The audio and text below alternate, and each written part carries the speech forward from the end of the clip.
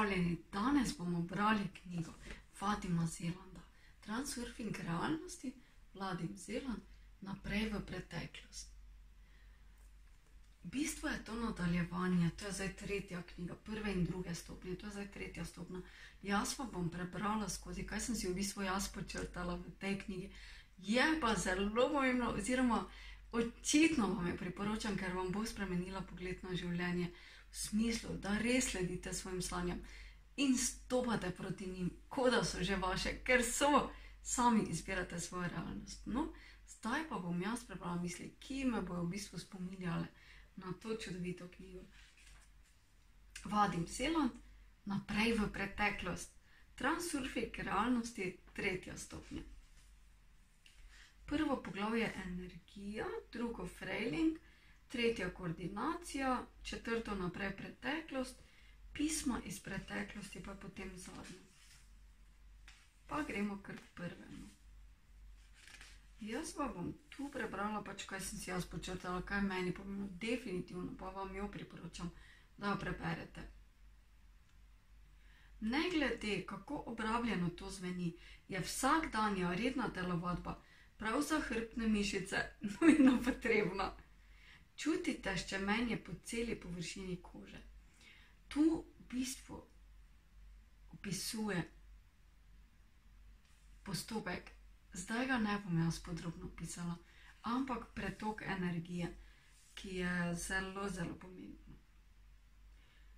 Če se darovanec počuti izžeto, kadar se po druženju ali pogovoru z nekim človekom počutite prazno, šibko, če vas mrazi ali pa se počutite brez elana, lahko iz tega sklepate, da ste bili izrabljeni oziroma da so vam pili energijo, bi jaz temu rekla. Zaščitni ovoj, tu je potem opisano, kako v bistvu mi upravljamo s to energijo. Jaz vam ne bom zdaj tega opisovala, to si res preberite. Mogoče na kratko, v pred nami poteka tok energije iz središča Zemlje in pol za nami, vzporedno za hrbtenico, poteka tok iz neba dol skozi vse nas in potem ta dva toka tvorita poti nad nami kot vodomet in potem se ta vodometa od spodaj in zgoraj združita v ta ovoj, v to veliko kroglo in ta, ti toki se potem zadaj dol, spredaj gor, se potem večajo in večajo in tako si mi v bistvu širimo energijo in krepimo ta svoj ovoj okoli, ampak to je zdaj bila čisto, čisto banalna razlaga. To si res preberite v knjigi. Energijski kanali se lahko zožijo iz dveh razlogov. Zaradi strupov, ki so prisotni v vašem telesu, ali zaradi nenehnega stresnega stanja. Kadar je telo zastrupljeno, se energija ne more prosto pretakati. Stresnih situacijah se kanali še bolj zožijo. Kratkim prebliskom energije pogosto sledijo dolga obdobja padca energije. V takšnih obdobjih niste sposobni, da bi živeli polno in aktivno. Namesto tega samo životarite. Zvišana raven življenjske moči ne bo samo povečala vaše vitalnosti, naredila vas bo tudi bolj vplivne. Dajte si naslednje smernice. Moja kanala postajata širša in bolj pretočna in energija namere narašča. Ko izvajate vajo, vizualizirajte dogajanje. Kot se spomnite od prej, je osnova procesa vizualizacije v zavedanju naslednjega dejstva: danes je bolje, kot je včeraj, in jutri bo bolje, kot je danes. Iz knjige Transurfing realnosti dva, Šelestenje jutranjih zvezd. Ko zaženete svoj energijski fontani, si v mislih ponavljajte dejstvo, da energija vaše namere narašča iz dneva v dan. Kmalu bo namera sama vzdrževala svojo energijo in vaša življenjska moč bo naraščala. Osredotočenje na dogajanje je edino, kar je pomembno. Namera ni vztrajnost, ampak osredotočenje. Igrati igro zdravljenja pa pomeni, da se obnašate energično, da se zanimate za različne metode zdravljenja, Poskušajte živeti zdravo, do, da takrat, ko zbolite, ohranite smisel za humor, da svojo pozornost usmerjate na izboljšanje svojega dobrega počutja, da stremite k zdravju in se družite s podobno mislečimi ljudmi.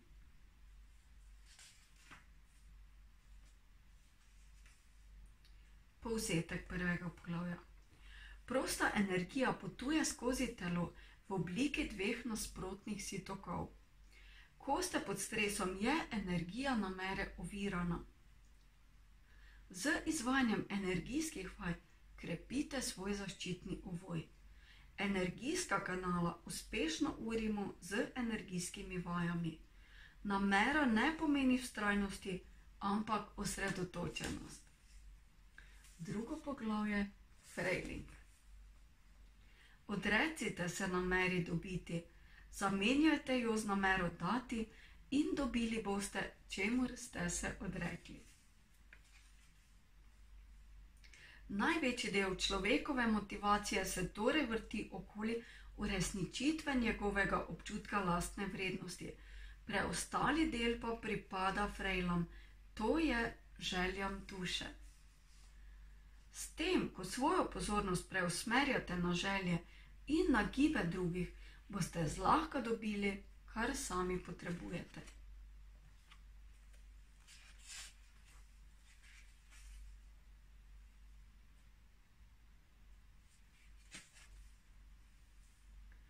Kako naj povežem to, kar jaz hočem, s tistim, kar ta človek potrebuje? Začnite s tem, da se poenotite s potrebami tega človeka, ugotovite, k čemu strmi, česa mu primankuje, denarja, moči, spoštovanja drugih, zadovoljstva ob dobro opravljenem delu, časa za svoje otroke, luksusa, statusa, slave in tako naprej. Vse to so različice na temo lastne pomembnosti.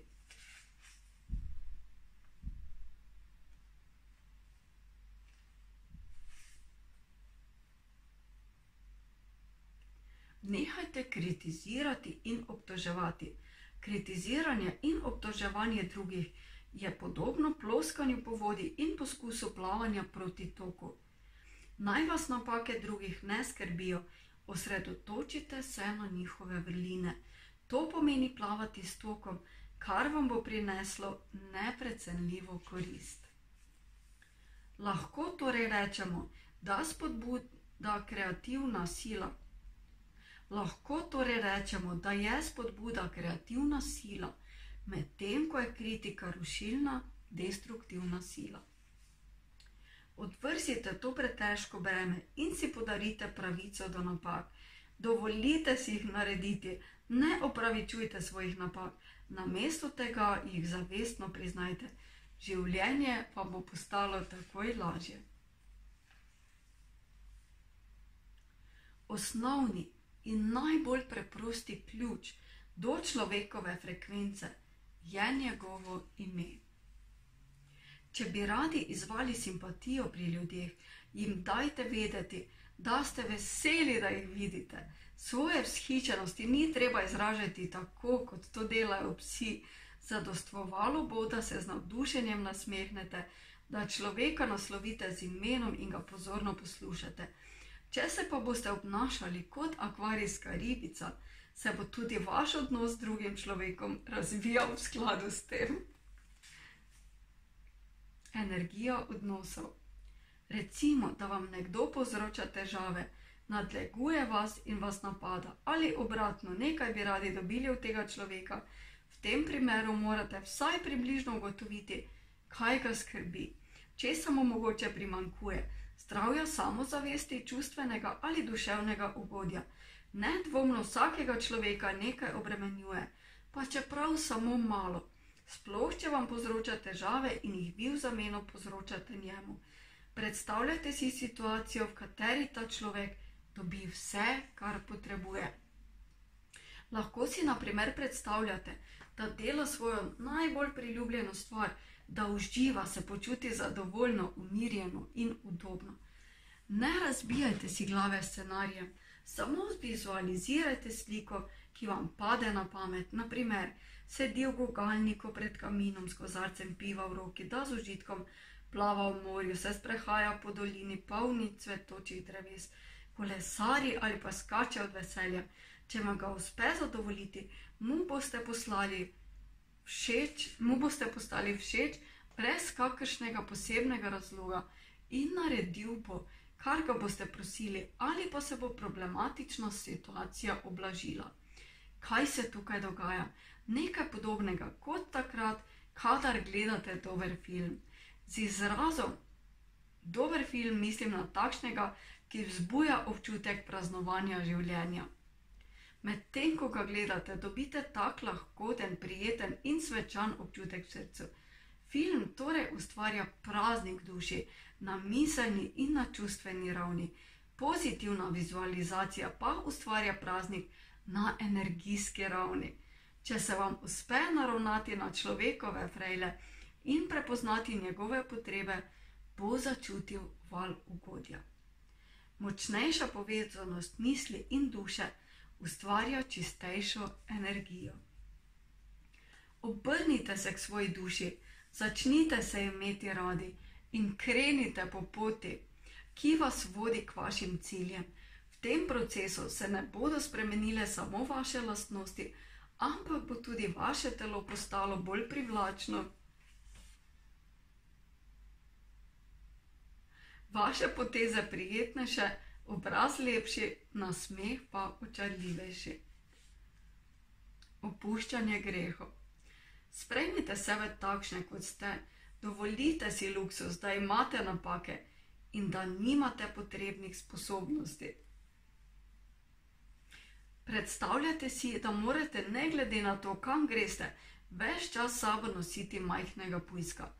Ta se poskuša osvoboditi, cviliti in se izvija, ves čas se mora naprezati, da bi ga pomirili in obdržali v naročju. Potem ga izpustite in trenutku začutite olajšanje in svobodo. Energija, ki ste jo prej porabili za to, da ste zadržali pujska, vam je zdaj na razpolago in lahko jo usmerite k drugim ciljem. Primerjava s pujskom ni tako pretirana, kot se vam mogoče zdi. Tudi če vam uspeva skriti napake, je bolje, da se osredotočite na svoje vrline. Sami se lahko prepričate, kako olajšano in svobodno se boste počutili, ko se sprostite in sprejmete svoje napake, preden se znajdete v situaciji, v kateri se boste morali pokazati v najboljši luči. To bo lahko razgovor za službo, izpit, nastop, tekmovanje ali pa ljubezensko srečanje. Znižajte notranjo pomembnost bodite prizanesljivejši do sebe in svojih napak odpustite si grehe. In takoj boste začutili, kako se vam je težek kamen odvalil od srca, kako se je odvečni potencial razpršil in se je energija namere osvobodila. Najbolj pomembno je, da začnete delovati, kakor veste in znate. Ni pomembno, če je vaše delovanje učinkovito ali ne dovolite si celo zelo neučinkovito delovanje.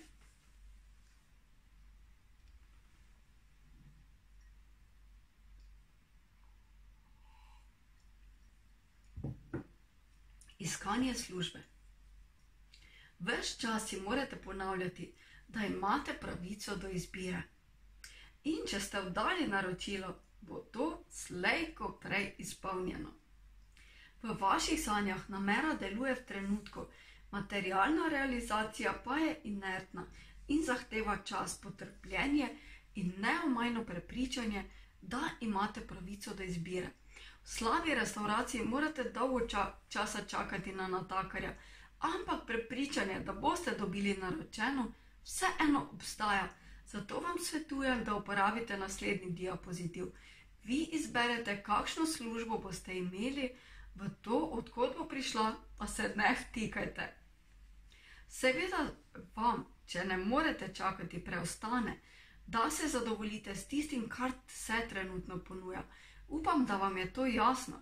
Ko pa dobite službo, s katero lahko poskrbite za osnovno preživetje, lahko naročite najboljšo in mirno počakate, da se naročilo izpolni. Potem, ko ste izbrali službo, si zavrtite diapozitiv, kot da ste cilj že dosegli. Ugotovite, kaj bi resnično radi delali in katere dolžnosti vam najbolj ustrezajo. Ne omejujte se, saj izbirate svojo službo. Pri pisanju življenja pisa je notranja namera usmerjena v to, da vas bo prikazala kot briljantnega specialista, zunanja namera pa je usmerjena na potrebe delodajalca.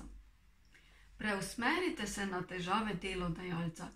Kaj potrebuje od vas, kaj bi rad dobil, postavite se na njegovo mesto.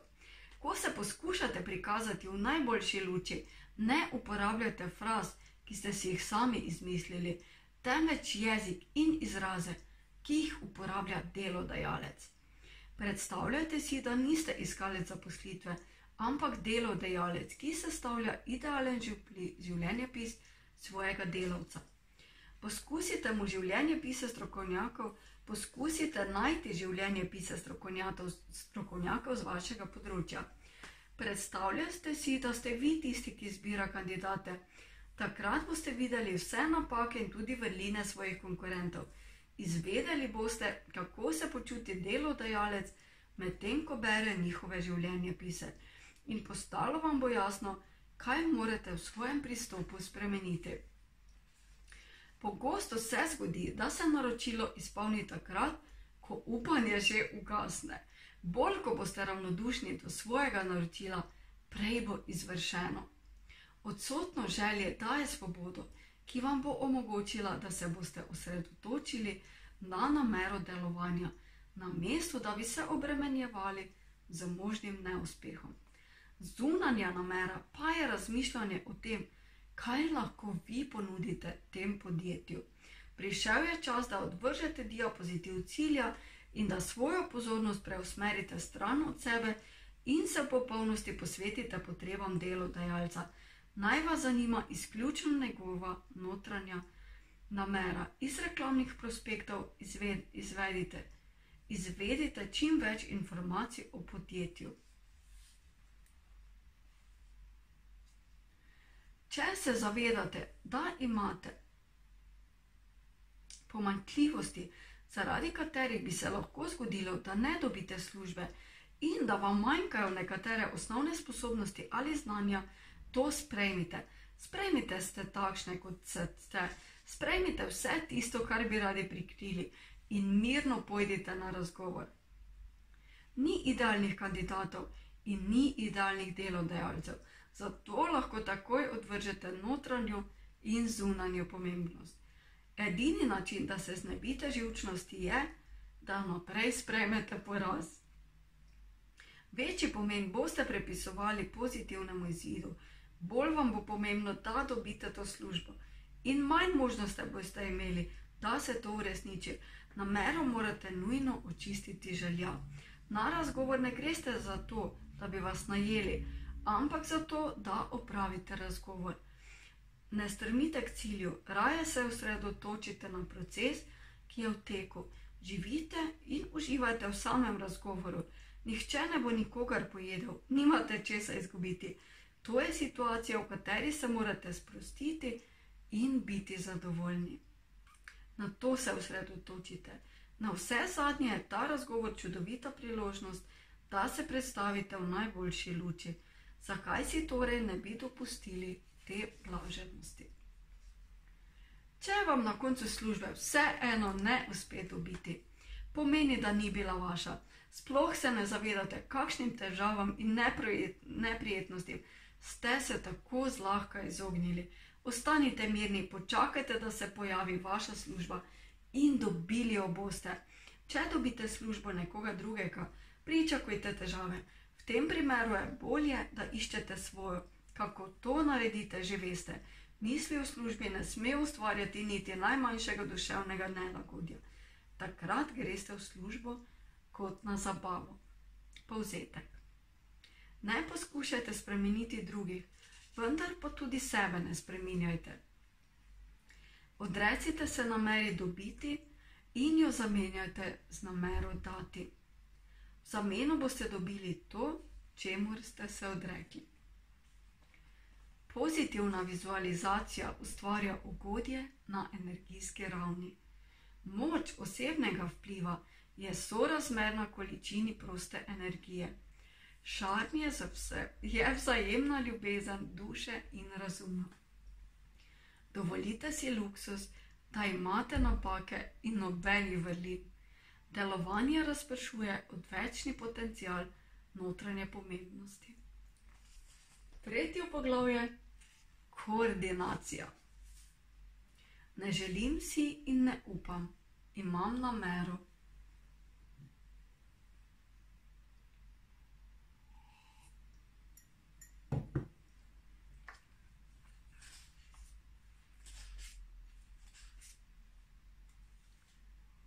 Paradoks je v naslednjem, da bi dosegli samozavest, se jim morate odreči. Odrekam se boju in se premikam s tokom. Odrecite se potrebi, da bi sebi in drugim nekaj dokazali, in to sprejmite kot vaše temeljno načelo. Začnite delovati, delajte, kakorkoli znate, brez naprezanja in ustrajnosti. Da bi dosegli dogovor med svojim razumom in dušo, zadostuje, da natančno prisluhnete željam svojega srca in da živite v skladu s svojo resnico.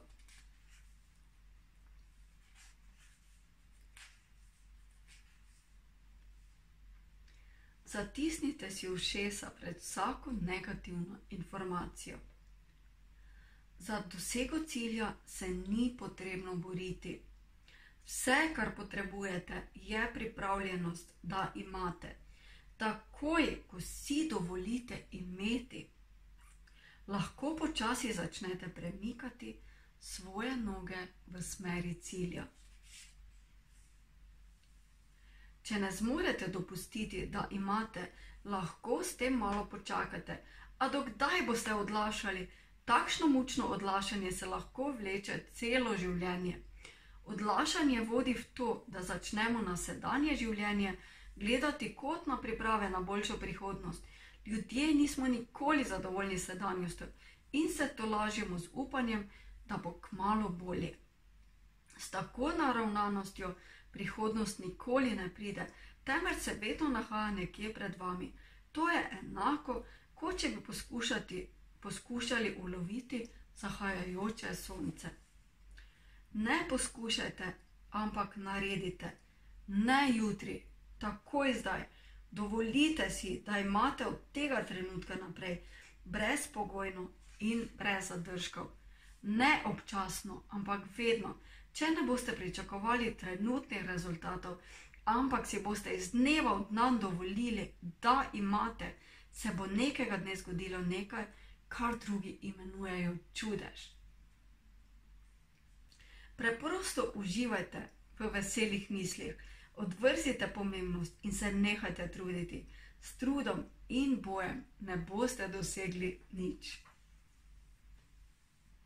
Samo razmišljajte o tem, kako vzamete, kar je vaše.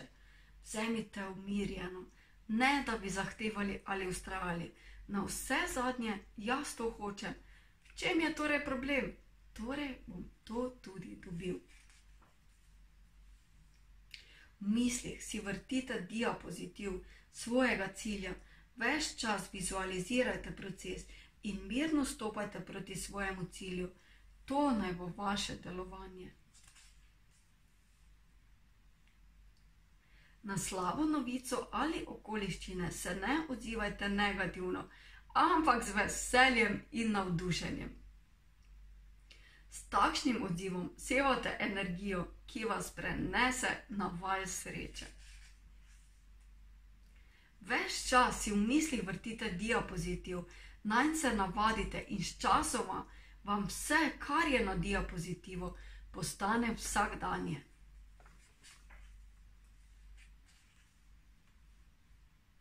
Če se odločite, da boste na videzno negativne spremembe v scenariju videli kot pozitivne, bodo takšne tudi postale. Če ga vidite kot pozitivnega, se boste usmerili na pozitivno tirnico. V težavni situaciji poskušajte najti nekaj pozitivnega. Tudi če vam ne bo uspelo, bodite vseeno srečni, pridobite neumno navado, da se veselite ob neuspehih. To je veliko bolj zabavno, kot da se jezite ali pritožujete za vsako malenkost. Ugotovili boste, da vam v večini primerov vaša nesreča še kako koristi. Tudi če to ne bo tako, se lahko prepričani v naslednje. Zahvaljujoč svoji pozitivni naravnanosti ste se znašli na pozitivni tirnici in se izognili težavam, ki bi sledile. Svojemu razumu zdaj razložite pravila nove igre. Recite mu, da bo še vedno imel nadzor, tako kot zdaj ampak bo smisel tega nadzora v tem, da bo vse dogodke videl kot pozitivne. Na vse zadnje dojemate ta dogodek kot negativen, samo zato, ker se ne ujema z vašim scenarijem. Obnašajte se, kot da je to točno tisto, kar potrebujete. Ne hitite s pritoževanjem in upiranjem situaciji samo zato, ker je v teku predstave prišlo do sprememb scenarija. Z odrekanjem nadzora nad scenarijem ga boste pravzaprav dobili. Nadzor ne bo usmerjen v upiranje toku različic, ampak prepuščanje toku. Na vse zadnje se želite samo izogniti težavam in živeti tako, da se vam bo vse dobro izteklo.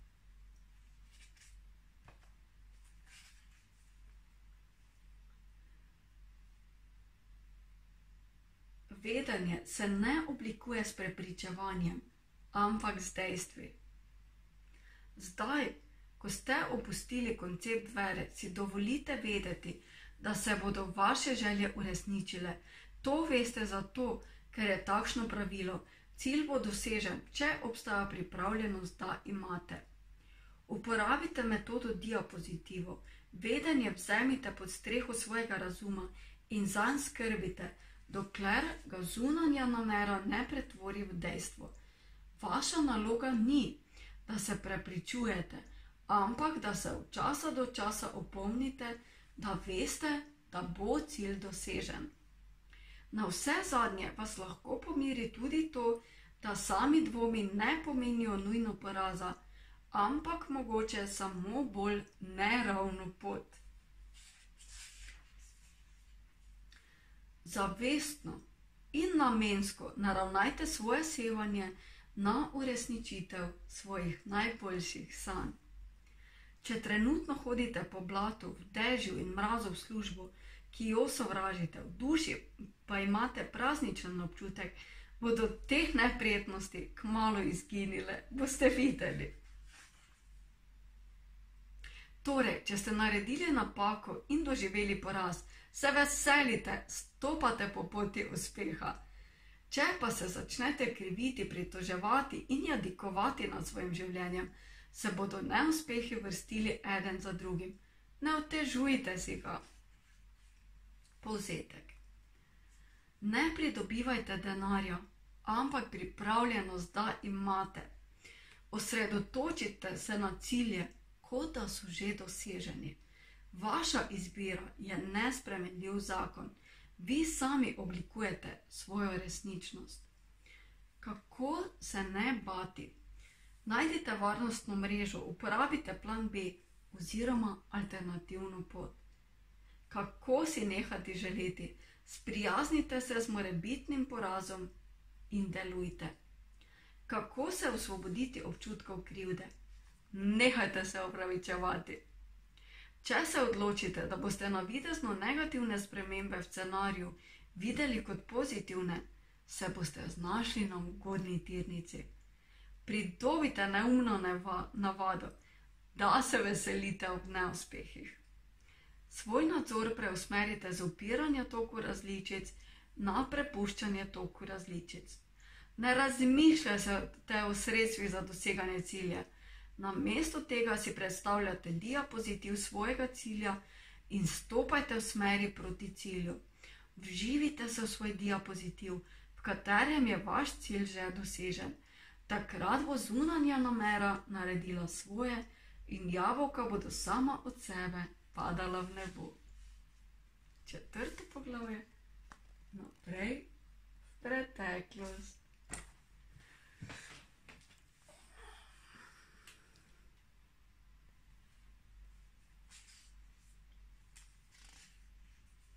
Transakcija.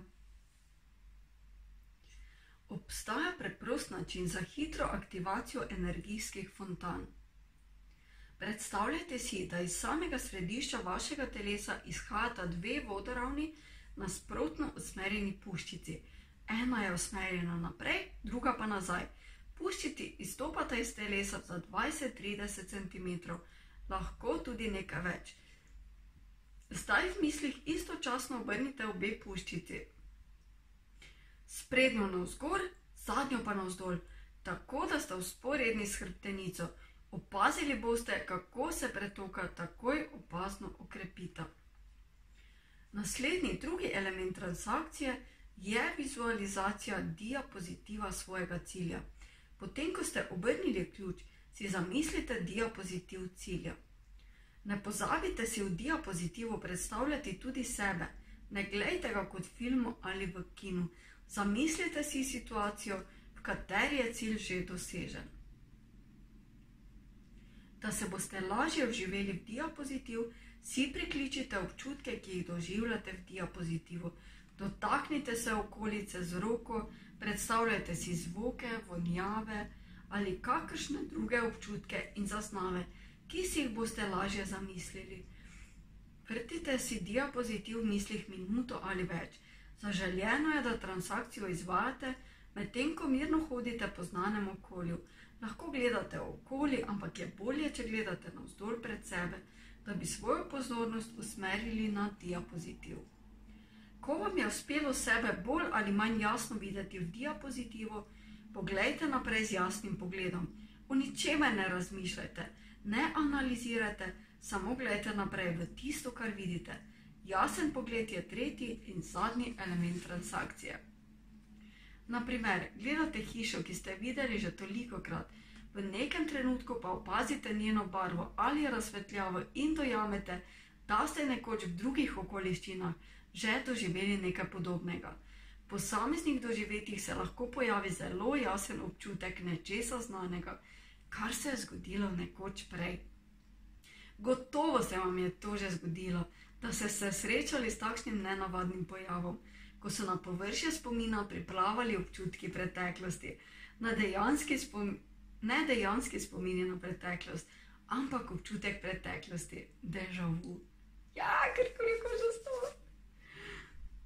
Osupljive spremembe v tenkih opazimo samo pri ostrih prehodih iz ene na drugo življenjsko linijo. V takšnih primerih bodo znamenja privlekla vašo pozornost. OMG. V procesu transakcije nam predstavljanje diapozitiva cilja okrepi na let vetra zunanje namere. Parametri sevanja vaših misli se močno razlikujejo od tekoče življenjske linije. Obračanje ključa okrepi energijo sevanja, ki ga oblikujejo vaše misli. Rezultat je hitrejše premikanje realizacije po sektorjih. Jasen pogled nam vam omogoči, da se prebudite in ujamete spremembo. Zaradi tega vam uspe za nekaj trenutkov, dokler je nalet vetra še prisoten, opaziti spremembe odtenkov dekoracije.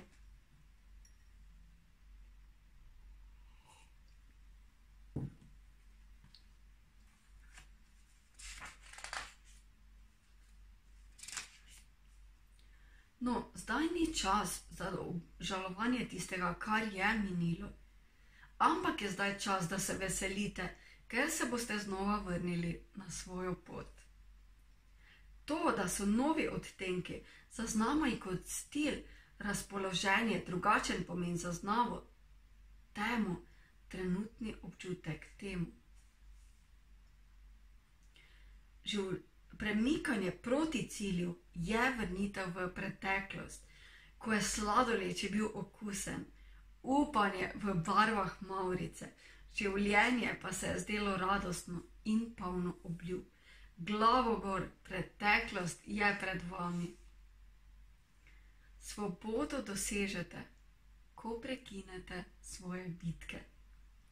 Svet kot ogledalo odraža vaš odnos do njega. Ko ste svetom nezadovoljni, se obrne v stran. Ko se proti svetu borite, se bori nazaj. Ko se nehate boriti, vam pride svet naproti. Odklanjanje bitke je tudi delovanje sebi in svetu, dajete možnost biti takšni, kot ste. Ni se potrebno spreminjati ali se bojevati proti svetu. Takoj, ko začnete odklanjati bitke, bo vaša svoboda iz dneva v dan postajala bolj otipljiva. Svoje navdušenje preoblikujte v praznično namero. Zaradi spoznanja, da stopate proti svojemu cilju, boste čutili tiho radost. Zato bo občutek praznovanja ves čas prisoten. Povzetek. Obračanje ključa zmanjša napetost in osvobodi energijo namere. Transakcija obračanje ključa, vizualizacija, fiksacija z usmerjanjem jasnega pogleda. Kot rezultat transakcije boste videli spremembe v odtenkih dekoracij. Zadostvovala bosta predvajanje diapozitiva vašega cilja in vizualizacija procesa. Premikanje proti vašemu cilju je osveževanje sloja vašega sveta.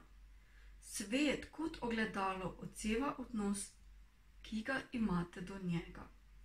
Ko prekinete bitko, pridobite svobodo. Peto poglavje: Pisma iz preteklosti.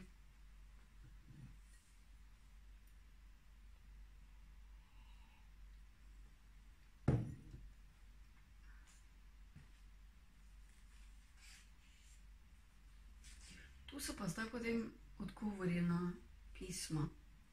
V resničnosti dobremu sledi še boljše. Vse, kar morate narediti, je, da izberete, na to pa ne ovirate realizacije. Vsa lepota je v tem, da se bo recept našel sam.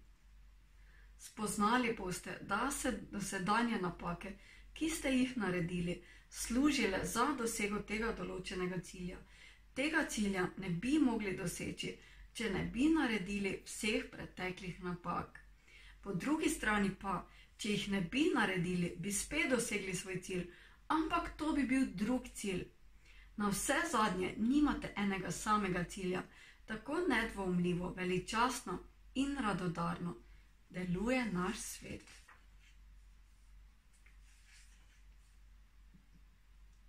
Celo nasprotno, raje se ukvarjate z bogatenjem sebe. To je nekaj, kar delate iskreno in tega se vam ni treba sramovati. Vaša duša ne želi denarja, ampak tisto, kar se z denarjem lahko kupi. Ali natančno veste, kaj hočete? Najverjetneje ne, zato se vprašajte, kaj bi radi od življenja, kaj bi vaše življenje spremenilo v praznik v praznovanje. Določite cilj. Zato, da nehate iskati odgovore na svoje vprašanja v knjigah drugih ljudi in se obrnete k sebi, pa je potrebna precejšna mera drznosti. Vse dokler je vaš um usmerjen k modrecem tega sveta, boste zmedeni in boste v položaju večne učenke. Naravnajte se drugače, svoj um usmerite k duši in sami poiščite odgovore na vprašanja. Sprejmite dejstvo, da vam je dostopno vse znanje. Vprašajte sebe, pojdite po svoji poti, izkoristite pravico do tega, da ste edinstveni, izkoristite svoj dostop do informacij. Če se preveč zapletete v tuje težave, k njim ne boste mogli več objektivno pristopiti.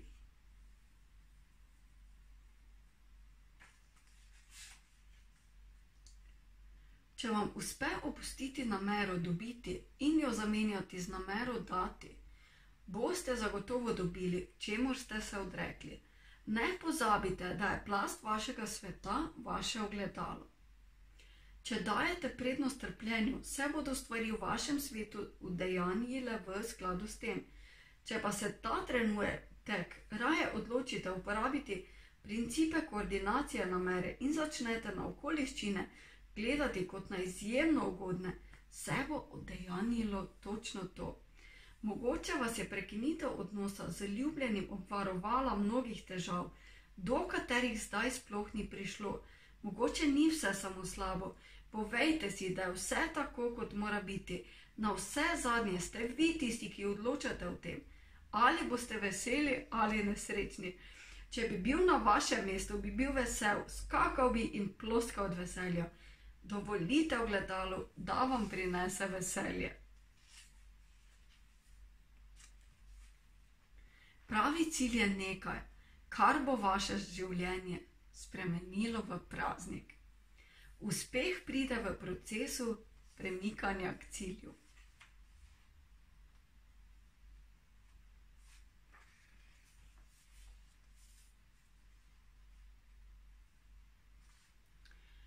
Če vas je, na primer, strah pred nastopom, si dovolite biti živčni, naj vas naravno in vsem srcem skrbi. V popolnosti se predajte temu izjemnemu občutku, dovolite si popolnoma izgubiti nadzor tako, kot vam najbolj ustreza. Takoj, ko si boste vse to dovolili, bosta vaša živčnost in strah čudežno izginila v neznano. To se zgodi zato, ker se velik del vaše energije porabi za bojevanje proti strahu. Duša vam mora narekovati delovanje, poslušati morate želje srca in ne tistega, kar vam govorijo drugi, predvsem pa bližnji, ki vam resnično želijo samo najboljše. Resnim stvarem se ne izogibate zato, ker so resne ampak ker to preprosto niso vaše stvari. Lenova je stanje duše. Če se boste premikali proti svojemu cilju, nagovarjanje in siljenje ne bosta potrebna. Duša bo skozi svoja vrata dobesedno poletela proti svojemu cilju, drugim se bo vaš cilj mogoče zdaj naporno delo, vam pa bo užitek in zabavo. Ne predajte se popolnoma nečemu, kar morate narediti. Predstavljajte si, da je to igra. Dajte se v najem.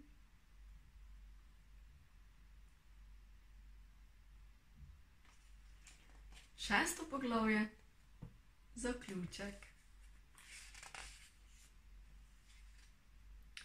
Osnovno načelo je, da ima sevanje naših misli ne samo posreden, ampak tudi neposreden vpliv na resničnost, ki nas obkroža.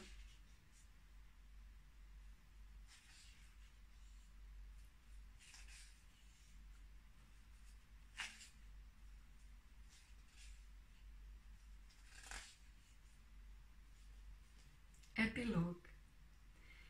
Če pa je nekaj iz te knjige zaigralo na občutljive akorde vaše duše, se je čudežno potovanje komaj začelo.